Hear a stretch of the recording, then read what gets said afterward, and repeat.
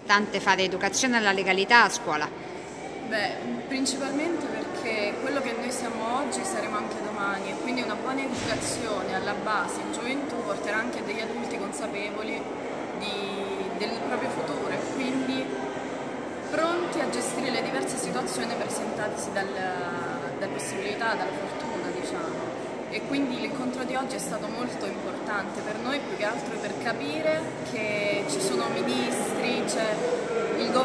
ci aiuta, che è al nostro lato e ci appoggia in quello che stiamo facendo.